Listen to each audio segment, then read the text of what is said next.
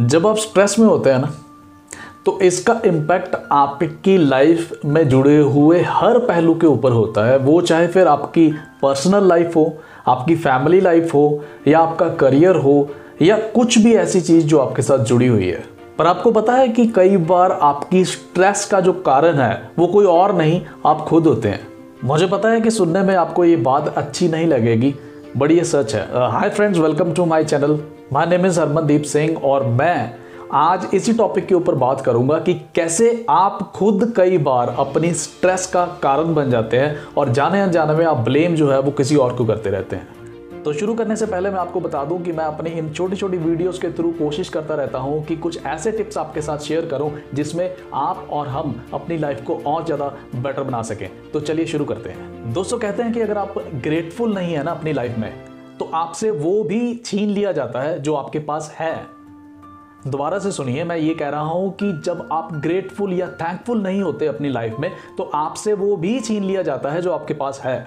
कई बार क्या होता है कि हम लोग अपनी लाइफ में जितनी ब्लेसिंग्स हमारे पास हैं, हम लोग उसके ऊपर फोकस नहीं करते हैं, बल्कि हम लोग उन चीज़ों के ऊपर फोकस करते रहते हैं जो हमारे पास नहीं है। और यही कारण होता है कि हम लोग फिर हर चीज़ के ऊपर कंप्लेंट करना शुरू कर देते हैं। जैसे कि मेरे पास अच्छा घर नहीं है, मेरे पास अच्छी गाड़ी नहीं है, मेरे पास बहुत ज़्यादा कोई फाइनेंशियल फैसिलिटीज़ नहीं है और ऐसी बहुत सारी चीज़ें जो अभी शायद आपकी लाइफ में नहीं है और इसका इम्पैक्ट आपके सबकॉन्शियस माइंड के ऊपर बहुत ज़्यादा पड़ता है और इससे होता क्या है कि हमें हर चीज़ में नेगेटिविटी नज़र आना शुरू हो जाती है और हम लोग ये करते करते जाने अनजाने में अपनी बहुत ब्यूटीफुल लाइफ को बहुत स्ट्रेसफुल बना लेते हैं। तो दोस्तों, इसका सोल्यूशन क्या है?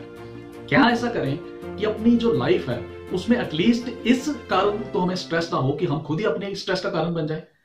अगर जो बाहर के एक्सटर्नल फैक्टर्स हैं, उनको हम लोग कंट्रोल नहीं कर सकते हैं, लेकिन एटलीस्ट हम लोग खुद को तो चेंज कर सकते हैं, जिसके कारण हम खुद अपनी स्ट्रेस का कारण ना बने। तो उसके लिए मैं सबसे पहले आपको ये एडवाइस करूँगा एटलीस्ट अपनी लाइफ में जो जो ब्लेसिंग्स आपके पास ऑलरेडी हैं, आप उसके लिए थैंकफुल होना शुरू हो जाए। उसके लिए पॉजिटिव माइंड सेटअप करना शुरू कर दें। ये पहली चीज़ है जो आपने करनी है, अपनी पर्सनल लाइफ में अपने खुद के क्रिएटेड की हुई स्ट्रेस से रिलीफ पाने के लिए। आप बजाय कि उन चीज़ों के ऊपर फोकस करें जो आपके पास नहीं है, आप उन चीज़ों के ऊपर फोकस करना शुरू कर दें, उनके लिए थैंक्स करना शुरू कर दें जो आपके पास है।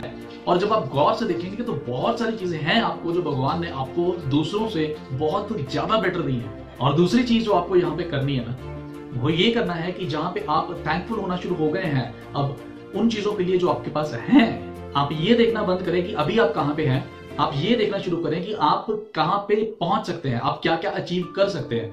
अपनी फ्यूचर की प्लानिंग करना शुरू करें। आप हर उस चीज़ के लिए काम करना शुरू करें एक पॉजिटिव माइंड सेटअप के साथ, जहाँ पे आप पहुँच सकते हैं अपने एफर्ट्स करके, अपनी मेहनत करके।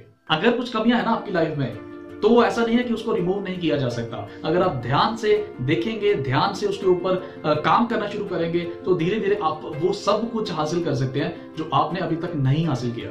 तो अपना जो माइंड है अपने बस चेंज करना है, अपनी थॉट्स चेंज करनी है, अपनी लाइफ में प्रेजेंट की नेगेटिविटी को ध्यान में नहीं रखना, अपने लाइफ की प्रेजेंट में जो पॉजिटिविटी है, जो आपके पास ब्लेसिंग्स हैं, उनके ऊपर ध्यान रखना है और इसके साथ साथ अपने एक ब्राइट फ्यूचर की एक्सपेक्टेशंस माइंड में रखते हुए उसके लिए काम करना शुरू कर देना है।